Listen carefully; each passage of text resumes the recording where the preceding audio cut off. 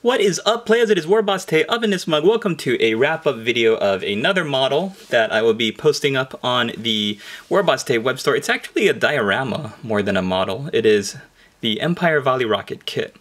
And uh, as you can see, I put it on a base because I thought the amount of bits that you get in the Volley Rocket box is so it's it's so varied, it's so diverse, and it's all really really great. So you can see that it's supposed to be just the the rocket uh, battery, the machine, and it's supposed to be the three crewmen on square bases, but I decided to put them all together and uh, create a little bit of a diorama using some other other pieces. So uh, let's take a look at, first of all, the other pieces that I used just to get them out of the way are, you have a little powder monkey there from the Empire Handgunners kit.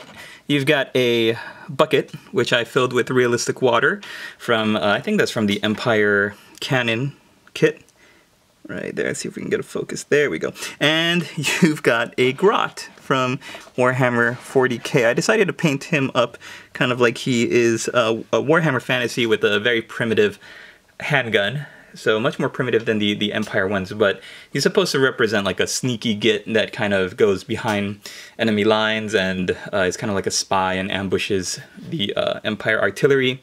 So uh, the theme of the story is the crewmen are distracted by their, their own things, they're in their own worlds. They do not see this little grot or Gretchen or goblin coming up to uh, sabotage them. The only one who sees that grot is Powder Monkey. But Powder Monkey is having a hard time. He's not able to get his master's attention because his master is quite distracted, finding the ranges and so forth. And Powder Monkey is screaming, ah, ah, ah, but uh, unfortunately he doesn't hear him. And the grot is going to. This is this scene takes place seconds before the grot fires. Powder Monkey jumps into uh, the way to keep his master from getting shot, but unfortunately, the barrel of black powder that Powder Monkey is carrying gets ignited, and the whole thing goes up in flames, resulting in fiery, messy death for everybody. But that is seconds after this, this snapshot takes place. I think this is great. It's like the little second right before all that craziness. So let's talk about what we've got. These guys are wearing the red and blues of the Altdorf, uh, the Altdorf colors. I think there's such a great, it's such a great color scheme the the red and the blue, and uh, I'm really glad I got to work with it. Thanks again to Antonio for uh, suggesting it and uh, requesting it, actually. So, alright, why does this guy have poopy pants?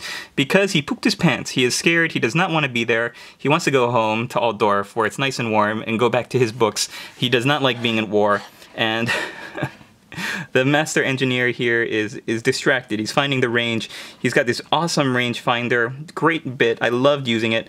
The uh, blue for the glass is basically just by darkness, and then paint a little bit of crescent on the lower right and the bottom part there. You can see first I went with Sotek green, and then uh, Lothern blue. Then I did a little spot of white color in the corner, and I uh, painted the whole thing with realistic water effects. You can also use gloss varnish, but I was already using the realistic water effects for this bucket of water, so I thought I'd just use it. Got two rockets on the rack there. Uh, your little grot peeking out there to to uh, assassinate the master engineer. This is by far my favorite bit so far uh, in a long time could be my favorite bit of anything in Warhammer Fantasy.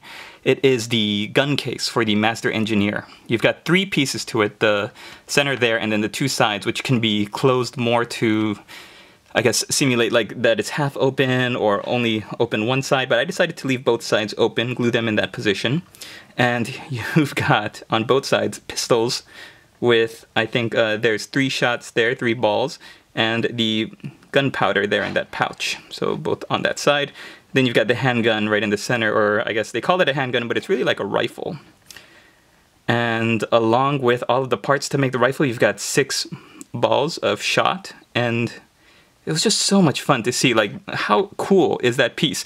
You never see it. I don't think there's any rules for it. It's just there. So thank you to whoever sculpted that piece because I I think there needs to be more of these kinds of very creative, innovative things in all of the kits. More bits, please.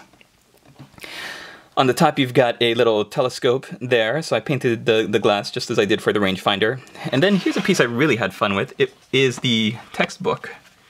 I'm, I'm sorry. Igor, steady there. Steady, Igor. I'm sorry, master. Igor, why are you talking like that? I thought you sound like Michael Caine. Oh yeah, that's right, master. I talk like this now, I'm sorry. It's been so long since I've spoken on a video that I, I just talk like that for a second. Alright, thank you, Igor. Get out of here. Get back behind the camera. Oh, I'm sorry, master. So there you can see I've painted a trajectory graph there on the left side. I had so much fun painting this. It's basically, you thin down your Rhinox hide. You can also use Abaddon Black or a Micron Arts pen, but to get that uh, very, very steady uh, drawing there, I, I think I did use my brush. All right, and just mathematics explaining trajectory for for these guys since they're are they're firing rockets, presumably. if, if, if things go well, which uh, does not look like it will be going well for them. You've got, uh, I think one of the themes I was going with was this guy is grizzled. He's obviously been on campaign for a while. Uh, Igor, if we can focus on him, please. I'm sorry, master.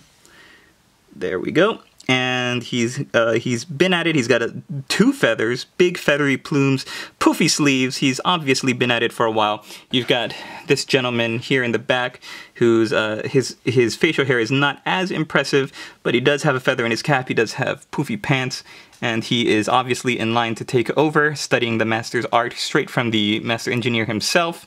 And then you've got this poor guy who is he just wants to go home. He wet his pants. He poo-pooed his pants. He is not he is not ready for for war. Uh, he wants to just go home. And I had so much fun painting him. I don't know why I wanted to embarrass him so much. I gave him also water effects streaking down his face to simulate, I guess, tears. He's crying his eyes out. He's bawling. He's screaming. He does not want to be there. He wet his pants. He poo-pooed his pants. He is ready to go home. And I've said poo-poo far too many times in this video, so I'm going to wrap it up here. If you would like to purchase this model, I'm going to be putting it up in the web store. I had so much fun painting it. It is really a one-of-a-kind. I think these this is one of those models that you start painting and I painted it for uh, the same local competition that I painted everything else for, but uh, this one did not win first place, and um, I, I, just thought like, oh no, this one did win first place. I'm sorry, this one and Gut Rot, they both won first place, and it was the uh, the Empire Handgunners and my Thunder Tusk did not win in that painting competition. So I remember hearing that this got uh, this got first place in the artillery category, and I was so stoked because when I first opened the box, and I was thinking, okay, how can I build this artillery piece. The reason why I picked it as my submission, because it was, uh, I think the categories were single figure, squad, monster, and artillery piece. I thought first, well, let's do a, let's do like a Skaven thing, or maybe a, a I don't know, something that, that that's really crazy. And then I saw this kit, this box, and I thought, oh, I can really go to work on the colors for the, for the soldiers there, the crew, even though the artillery piece itself is basically just silver with gold highlights and um, some some wood. Speaking of which, I love how the, the legs on the uh, the spokes of the wheel are basically, they look like table legs from the dining room table. I think that was a really cool effect.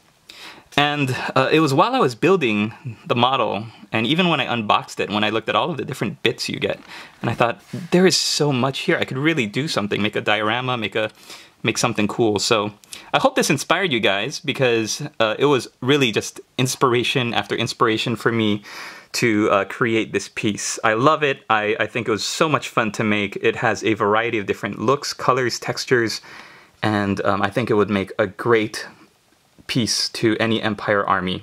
So for those of you who still play fantasy, or for those of you in Age of Sigmar who use Empire rules and uh, the volley gun. Not sure what, what the rules are or how good, good it is.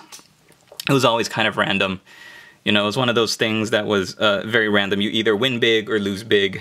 But uh, I think with this diorama at least, if you have it in your collection, it would be a, a pretty cool thing to have on the field. So it's a one of a kind. If if it goes, then it is gone for good. But if you would like me to uh, paint or commission me to paint one after it sells, then yeah, feel free to email me and you can get a hold of me on warbosstaestudios.com. And uh, yeah, check out warbosstaestudios.com. I've really tried to go over the look of it and redo the, the web store. And um, I'm charging two shipping prices right now for the UK and the continental United States. And uh, if you're somewhere else, like in China or Australia or somewhere else, and would like to uh, get some of these models, just email me and let me know because I'm still trying to figure out the shipping calculator and everything. So uh, I guess that's it. Thanks for watching, everybody. This poor engineer, he's about to get blowed up. He doesn't even know it. And uh, check out more. I'm going to be posting up a lot of fluff and background extra stuff. And uh, the return of podcasts and audio casts are going to be coming back to my Patreon because it's so easy for me to just record a little bit of an audio clip, post it up there, and I can get it out a lot faster. I think my, my good buddy Joe B, Joe Borowski, was asking about it on Facebook. So yeah, um, general nonsense. The podcast does look like it's it's going to be offline for a while longer because of the amount of work it takes and uh, just to put up a podcast and to upload it and render it and connect it and and link it and sync it and everything. So uh, Patreon is a lot easier. Then you can just download it, have it on your computer whenever you want. All right, that's it. I'm, I'm just rambling now.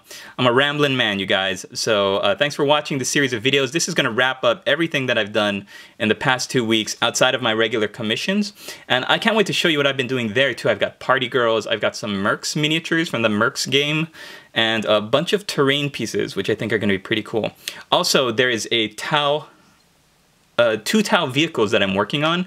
I'm waiting for some airbrush stencils to do some pretty awesome shard camouflage, but when that goes up, I think you guys are going to like it a lot. So that is it, you guys. Thanks for watching. Leave a comment, hit the like button, visit me on Facebook, and uh, if you want to support my studio, then I'd love to have your support over at Patreon. That's it. Thanks for watching.